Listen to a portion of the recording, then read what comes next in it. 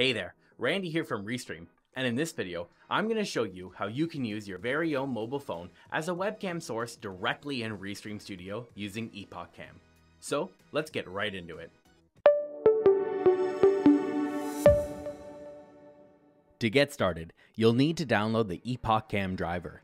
To do that, head to elgato.com slash gaming slash downloads.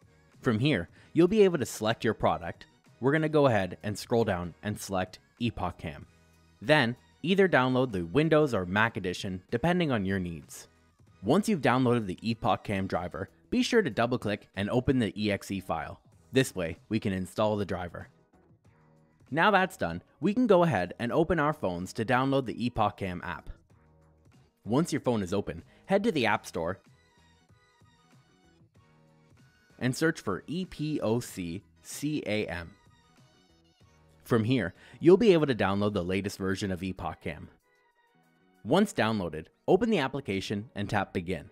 Since we've already downloaded the driver, we'll just go ahead and click Next.